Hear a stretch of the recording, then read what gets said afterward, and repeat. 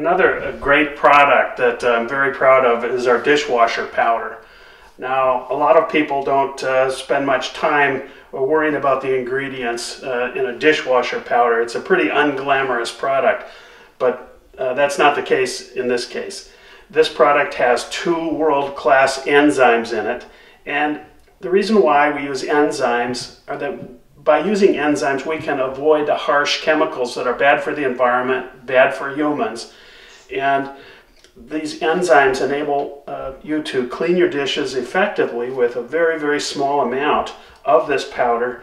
And um, you can be happy that you've got clean dishes, they'll be sparkling, and you can be happy that you're not fouling up the river with uh, ingredients that just do not belong in our, in our watershed.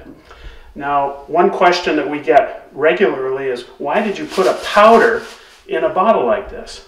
And I'm happy to give you the answer today, and that is that it's so much easier to pour and to handle when you use a drain back bottle. And this is called a drain back bottle. So when you're ready to use it, you can check your measuring cap to get the right dose, but I use it all the time. And all I do is pour a little bit in,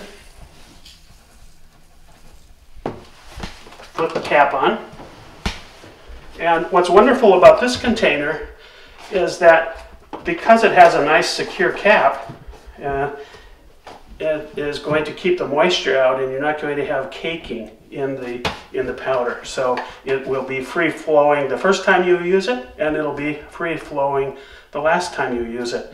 Now one other point is that this bottle can be refilled. So you can buy a five gallon pail, or a, I think it's 40 pounds. I, I, don't remember the exact weight, but it's in a and it's in a larger container. You can use a funnel, and you can refill this, and that's a great thing because it reduces the amount of plastic that goes into the environment. So it's a wonderful product.